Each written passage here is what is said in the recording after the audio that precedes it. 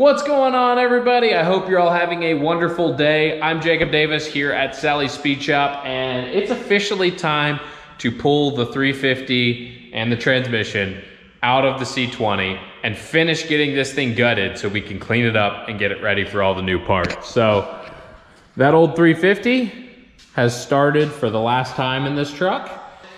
Um, yeah, pretty much everything is gonna get stripped off except for probably the brake booster and master cylinder, just because I don't wanna have to deal with bleeding brakes at the end of this whole project. But we're also gonna remove this door and I'm gonna try to fix this uh, dent here in the corner. It's gonna be pretty tricky because it's creased over pretty hard. Um, on the inside, we're gonna be removing the dash, uh, taking the seat out of the truck so we can reupholster it with a kit from Holley Classic Trucks. We're putting a new rubber mat in this truck because it's a work truck and we're going to be doing some under carpet light as well as some boom mat from our friends over at Design Engineering Incorporated because we need it to be nice and comfortable in here for when Moby is riding along. Uh, this truck is actually going to have air conditioning as well, so that's going to be going underneath the dash on that side. I found a kit I think I like, so Plenty of work to do and not a whole lot of time to do it in, but we'll get it done. We always do. I got everything loose on the core support, so in theory, I should be able to take this all off in one piece. Um, we'll see how I did. Whoop, still in coolant. Now with the core support out of the way, it's a whole lot easier to get in here and work on pulling the engine. But I'm going to save that for another night because it's about midnight in here. So gonna probably pull this out tomorrow.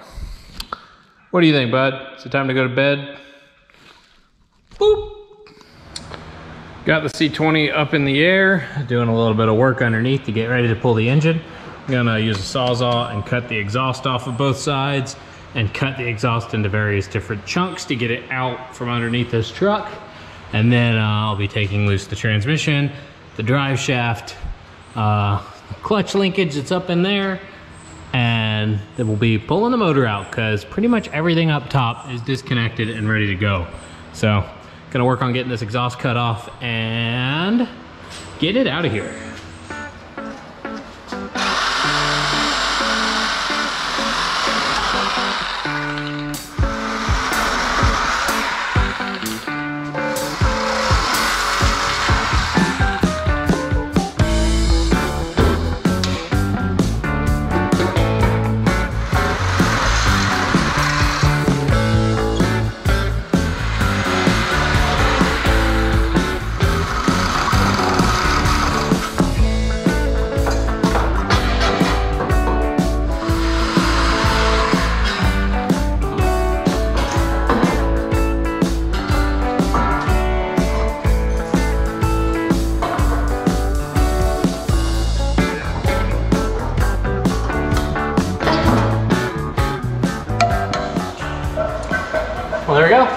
Exhaust is out of the way. Now it's time to uh, pull the transmission uh, mount and hopefully yank this engine out of here.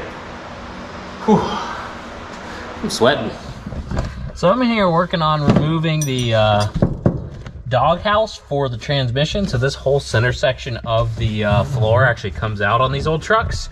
Um, I had to look up on the internet how to take off the shifter because I've never actually worked on an SM 465 and it looks pretty complicated looking at it. it. Doesn't look like there's any way to take this off, or maybe you use one of these holes, but it's not that. It's uh, it's actually much simpler. You push down on this collar right here, turn it about I don't know a quarter of an inch, and then the whole thing just slides out the top. How trick is that? So it's way easier to remove than one might expect. So now I can drop the engine and transmission and not have to worry about the shifter being in the way pretty cool. He's removing the doghouse. Are you happy about that? Probably not. Now's the time where we find out if I did indeed get everything disconnected or if we're going to find the tensile strength of whatever is left holding in this motor with the almighty Chinese engine hoist. So we've got our load leveler put in here because it's kind of actually a tight fit getting this engine and transmission out of this truck. But we're gonna hook this thing up, see if it'll come out of there. and Moby's just chilling in the truck. He's gonna make sure everything's fine inside. Yes, this motor's gonna now escape the surly bonds of this C20 and soar to new heights. Quoting Ronald Reagan over here, apparently. Yeah, very philosophical moment. So we're gonna get this thing yanked out and uh, hope it all goes smoothly. So probably gonna put you guys on a time lapse because it's probably gonna take more than just 10 seconds to come out of there.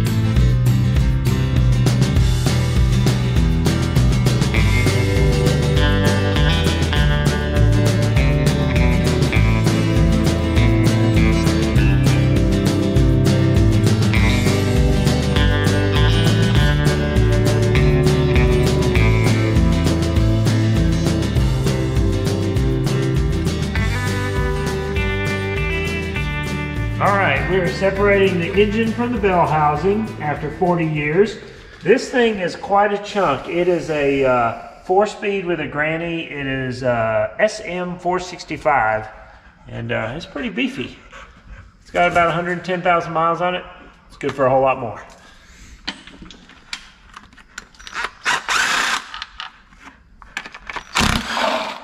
Oh, separated one more. right away. We're at. Look how easy that separated. We didn't even have to pry on it. Well, there you go. The SM465 is separate from the small block. It fought us a little bit, but we got it apart. And if you've never seen one of these Granny Gear 4-speeds out of the vehicle, they're actually pretty large. I mean, I have decent sized hands, and this transmission is just chunky. But yeah, there we go. It's out. So now we get to clean up all this junk that's in here, pressure wash everything, get it ready for the LS to go in. Whew. Lots of work done, but still lots of work left to do. I feel like this truck whooped my butt today. All right, so it's another day working on the truck. Me and Nathan are here tearing apart the C20. He's doing a little bit of work on Dave's F100.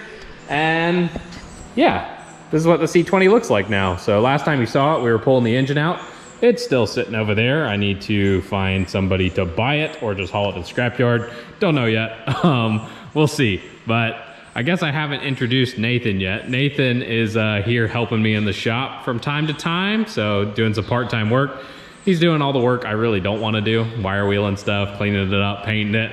But I'm also going to teach him some stuff about LS swaps and fixing up these classic cars. So kind of, he's doing what I used to do. I used to sweep shop floors. Now he gets to sweep my floors instead of me having to do it.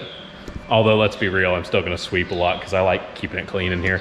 But anyway, we're getting this taken apart. As you can see, it looks a little different than last time you saw it. Uh, we've already got a lot of the interior stripped. I figured I should update you before I have it completely taken apart because it's changed a little since you've last seen it. So I got this door off already. The seat is out. We've got all the old rubber mat out as well as the jute that went underneath it. Um, there's a little bit of rust in this floor. You can see a little bit of daylight. So I think I'm just gonna patch in a panel here.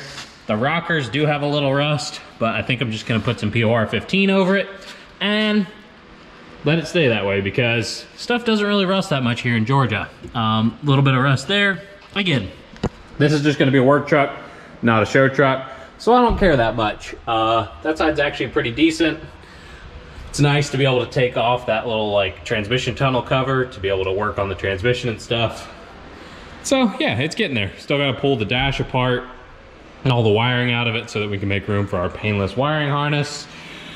Our Regal all-terrain has gone flat, so clearly should have put the one that goes flat on the side that I did the burnout with, but hindsight is uh, 2020, right? But anyway, we're uh, getting this tore apart. I'm about to take this last door off and get it out of the way, but I figured I should film and show you guys exactly what's going on.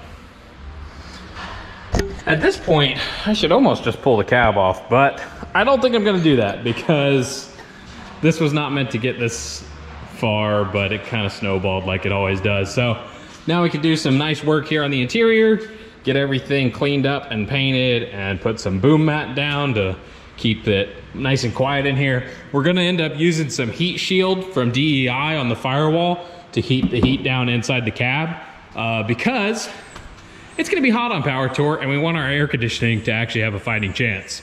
So it's gonna be nice and cleaned up. Gonna be using the blackout rust preventative on the frame from our friends over at the Sweet Patina.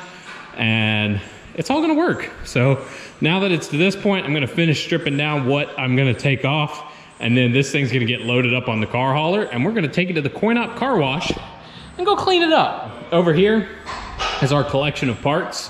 That's the front end off the Camaro. We got the hood off of the F100. And then all of this is C20 goodness. So trying to keep it fairly organized so that the shop isn't a total disaster like it is over here.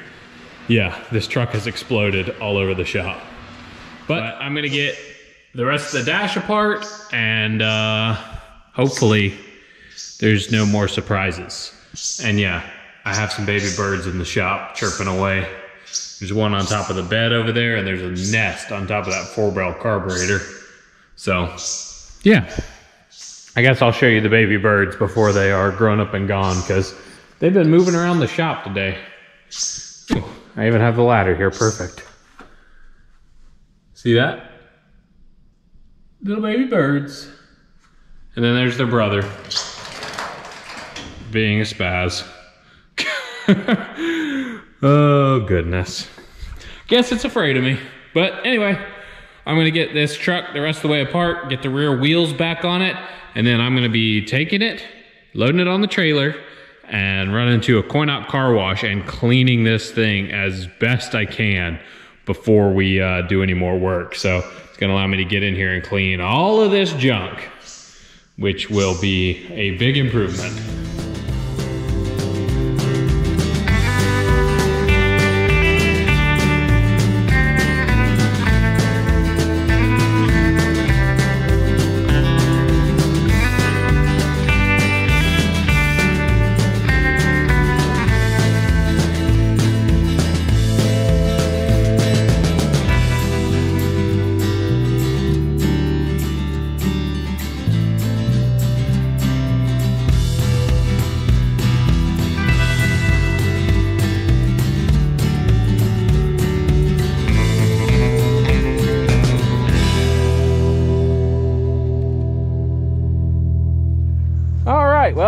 I got the truck completely stripped down. So there's no wiring or dash or carpet or anything left inside of it. The only thing left is the steering and the brakes essentially. So we're gonna take it to the car wash and uh, get it cleaned up. So the fine folks over at Super Clean sent me a bunch of their degreaser to try out. So they have this aerosol version as well as just the OG Super Clean. And they even have a foaming super clean. So this is some pretty heavy duty degreaser and this truck definitely needs it.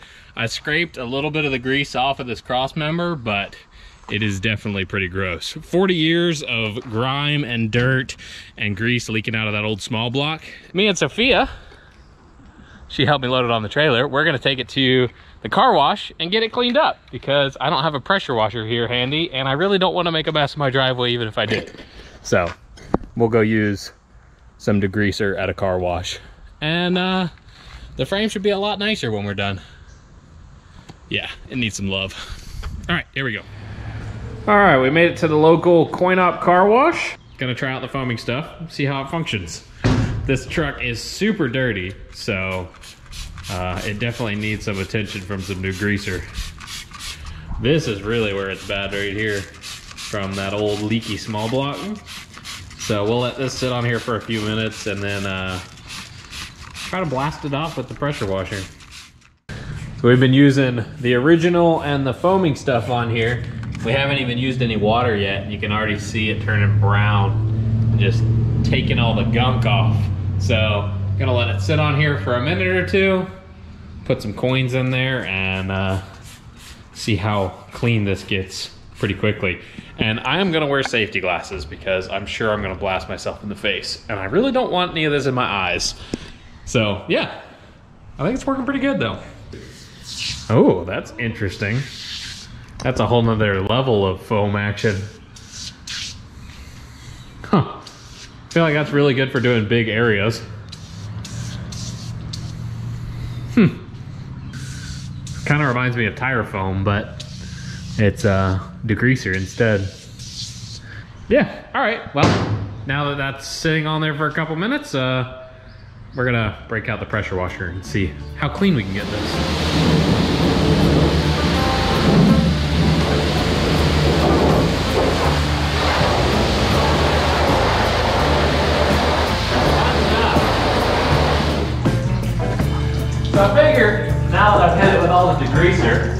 I'll actually use the foam brush and scrub it a little bit. And I think those two things together is gonna get this truck pretty clean. It's a little inconvenient uh, having the truck on a trailer, but at the same time, you can just crawl all over it. So it works.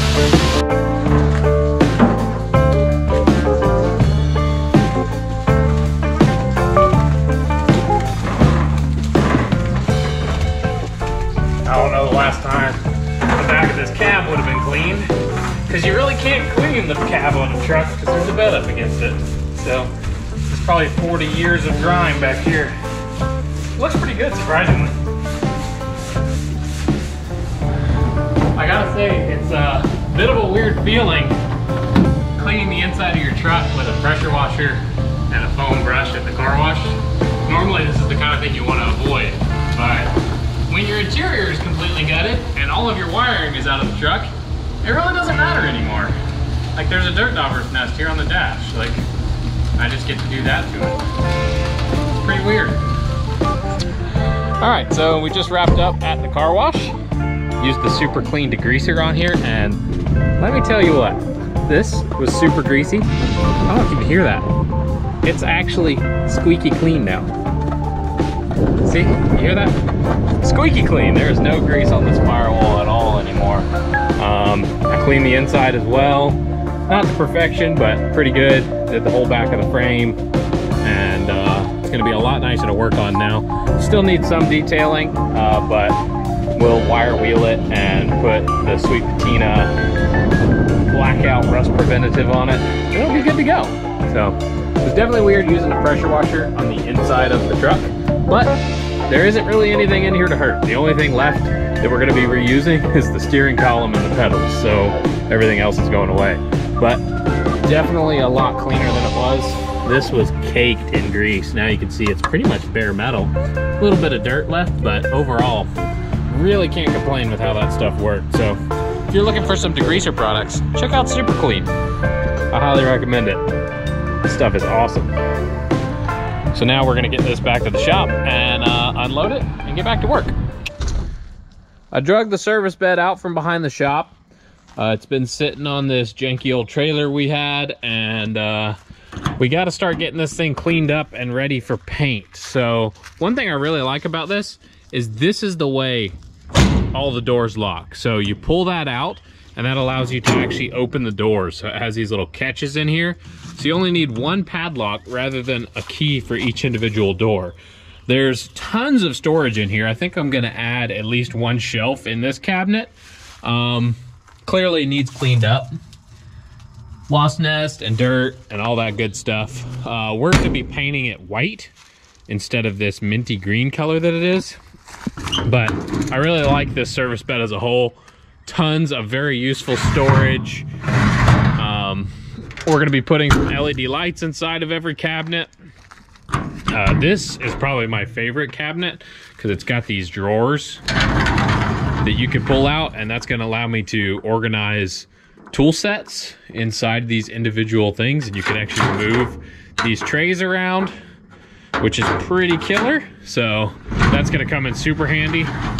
There's two of those in place. It looks like there used to be drawers here um, but they are missing. So i'll probably just end up using those to uh, roll some floor jacks into so that they're locked in place. Uh, we got plenty of room for all kinds of good stuff um, we're going to be stickering the bed up with all of our sponsors. So we, are going to have Holley Performance on it, Painless Wiring, Auto Metal Direct, Design Engineering Incorporated, uh, my friends over at the Sweet Patina. It's going to be really loaded down with sponsors because there's so many good people helping with this build. I got to fix a couple dents here in the back. So this bumper is dented right here. I'm either going to have to cut it out and weld in a new piece or uh, there's some pretty beefy structure in here. I might be able to put a bottle jack in there and get it straightened out. We're going to be changing the uh, tail lights. Uh, these little ones are going to go away and I'm going to put a bigger kind of rectangle shaped one that has tail light, turn signal, and reverse light. Uh, instead of these little, you know, bulb style reverse lights, we're going to put some work lights on there. I got to straighten out my tailgate because uh, it's going to need to be straight and smooth for stickers as well. It has a pintle hitch on it. I kind of want to put a regular ball style hitch on it. We'll see how that works. Definitely got to clean out the inside of this bed.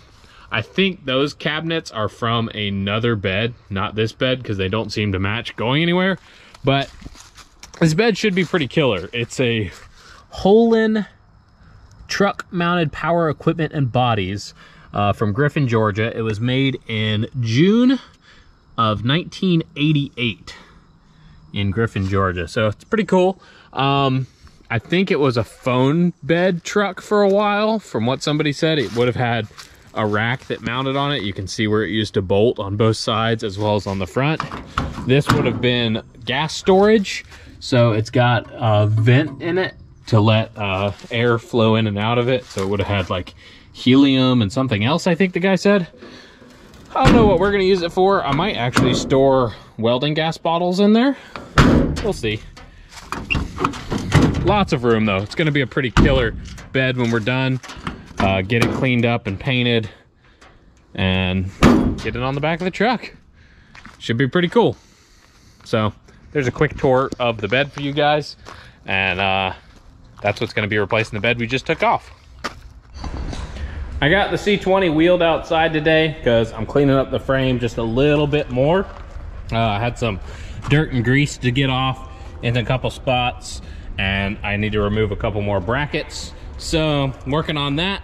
Moby's hanging out as always. And I'm getting this cleaned up because a very important package showed up today. My friend Blake over at Sweet Patina hooked me up with a bunch of his detailing supplies and not only the detailing supplies, man, he sent stickers, koozies, air fresheners, even a t-shirt and a hat. So this is why I'm cleaning the frame up because he just released this new stuff called Blackout Rust Preventative. Uh, it's kind of a similar product if you're familiar with POR 15. Um, so I'm going to be using this on the chassis and the floors and stuff anywhere that there has been rust to uh, keep the rust from coming back and to make it look a whole lot better than it does right now. So we're gonna be using that on the frame. The patina sauce is gonna be used on the hood uh, where there's a bunch of patina and then the polish is gonna be used on the entire truck to uh, bring the shine back. So the Century polish, the patina sauce, and the blackout rust preventative are gonna make this truck look so much better. But he also sent over some of his TKO hand wipes. These are awesome if you don't have a sink handy or if you're just on the side of the road, you can clean your hands no matter how dirty they get. And then obviously we have a bunch of his detailing products, anything from glass cleaner to interior to car wash soap to tire shine and all purpose cleaner. Blake definitely hooked it up. And if you're looking for some detailing supplies, I highly recommend these guys, not just because they sent me a bunch of products, but because it's a great family owned company out of Texas and all the money that they raise doing their fundraisers and stuff goes to support ALS research. And if you don't know anything about ALS, it's a horrible disease and there's no cure for it currently. So we definitely need to find one. So check out these guys at the Sweet Patina. They make awesome stuff and I'm super excited to use this, this, and this on the truck. And of course the other products once I actually have it put together enough to need detailed. But anyway, back to work. I'm gonna get cleaning up this frame, roll it back here in the shop, and start painting. Well, we got the C20 back on the lift, and now it's time to start cleaning up the frame all the way back. So front, underneath the cab, and everything under the bed. So we're using this awesome new product from the Sweet Patina. It's called Blackout Rust Preventative. And if you've ever used anything like POR 15, this is a pretty similar product. Uh, it's described as permanently obliterates, annihilates, and terminates rust. And I'd say that's very true about this type of product. If you put it on something, you are never going to get it off. So definitely be careful with it. Wear gloves because if you get it on your skin, basically your skin has to come off and before it comes off. And use an old paintbrush you don't care about because you're better off just throwing the paintbrush out afterwards. So we're gonna use this on the entire front of the frame, uh, as well as underneath in the back. And all you have to do is brush it on and it lays down super smooth. So here's a little before action. I still need to do a little bit of vacuuming because there's some dirt I need to get out. But I cleaned this really well with a degreaser and wire brushed it. So it's pretty much ready for this stuff to go on. And uh, I don't think I'm actually gonna do the control arms. I think I'm just gonna spray them with a spray can because they're going to be replaced later. So I don't wanna use good paint on the part that I'm just gonna change out later. Uh, probably gonna have an after power tour because the new stuff isn't gonna be done. Uh, in theory, there should be a new product coming out for the three quarter ton pickups uh, rather than just the C10s. So stay tuned for that, but I'm gonna get to work on this. Uh, so I guess it's time to cut to the time lapse. So next time you see me, in theory, this will be painted and maybe I'll look a little different because I probably will have some on my face. It's kind of how it goes.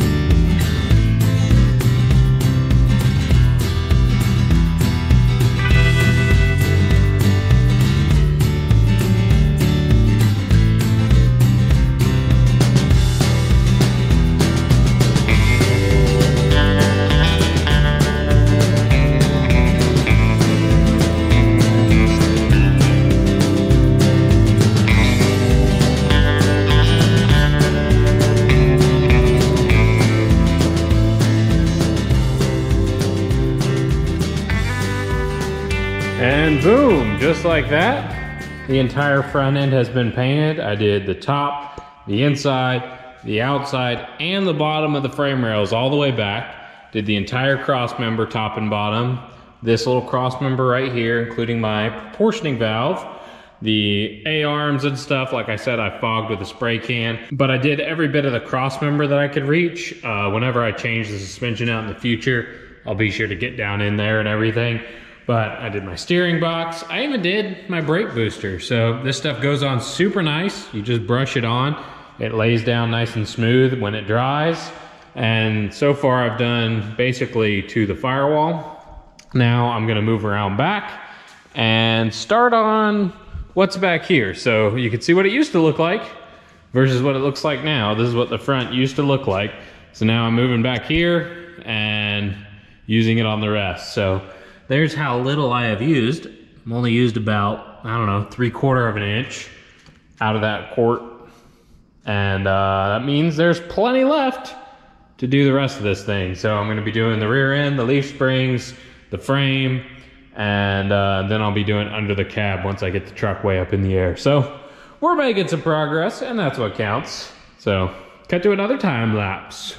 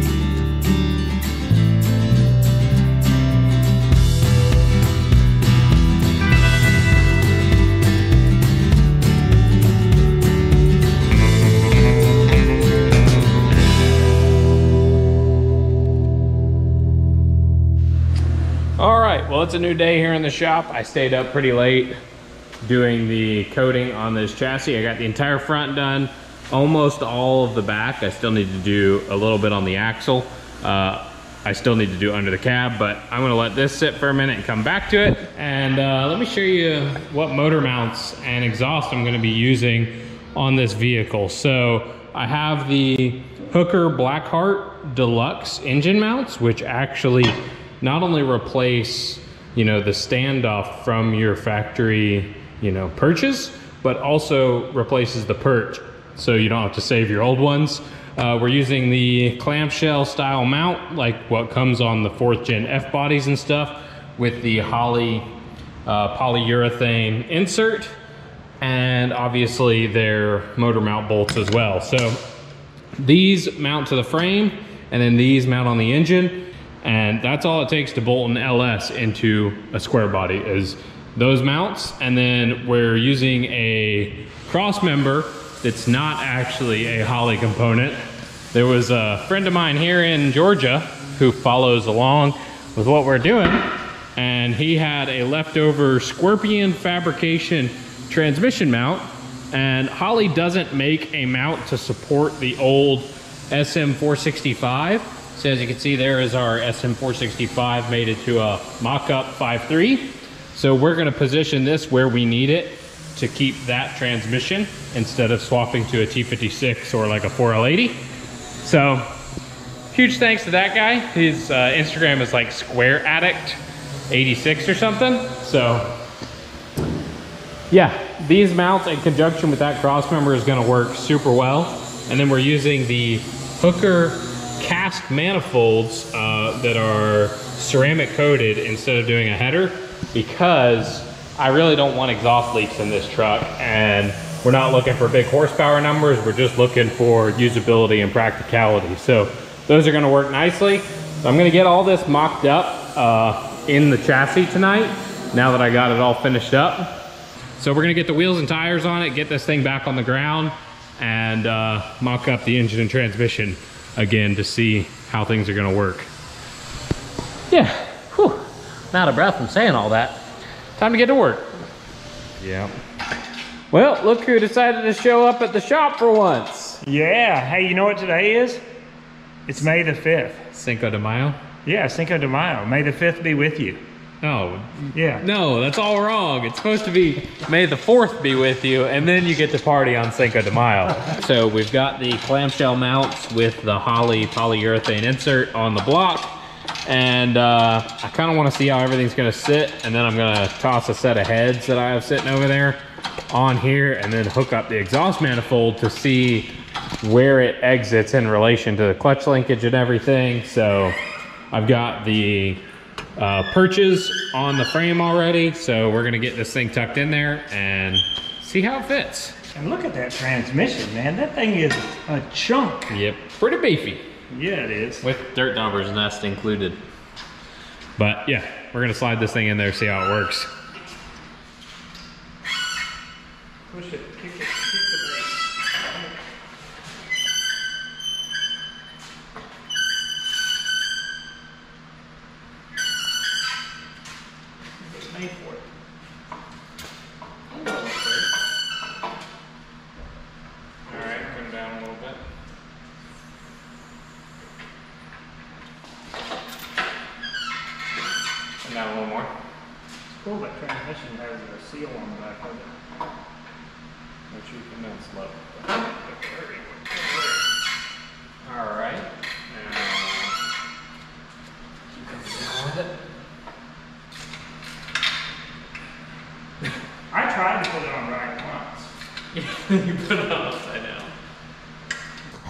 This is what happens when my dad comes over here and works. He puts on the motor mounts upside down. It happens. It happens. See, that's what it's supposed to look like. See a little tab on the top? Just so you know, in case you're using these mounts on your own engine. Don't do what he just did. That's right. Learn from my mistakes. Experience is the best teacher, but it doesn't have to. These holes need to be wallered out a little bit. Yeah, that's a southern term right there, wallered out. Uh, they're a little tight, so we need to open them up a touch to make them fit on the block a little better. So, anyway, he's gonna work on that and then we'll get the engine slid into place and figure out our trans cross member and where the exhaust manifolds are gonna land and all that good stuff. All right, let's try that again. Don't get squashed by that transmission, Jay. I'm not gonna get squashed by it. How much you think that trans weighs? A lot. All right, start bringing it down slow. Pull it forward. I don't, I don't think so, man.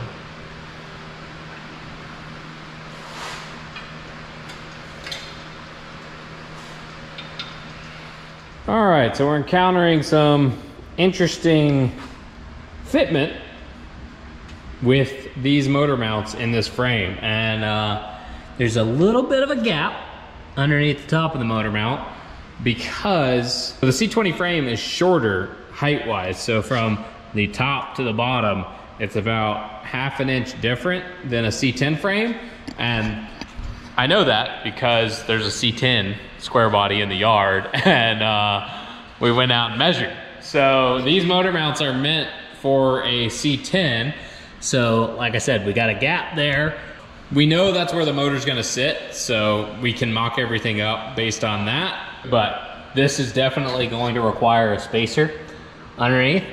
Don't worry, we're not gonna use wood. It's just temporary for mock up. I think Um, we could use the wood. Yeah, you use Yeah. wood for all kinds of stuff in cars that you shouldn't. He's more of a, a home remodeler than a car builder. Yeah.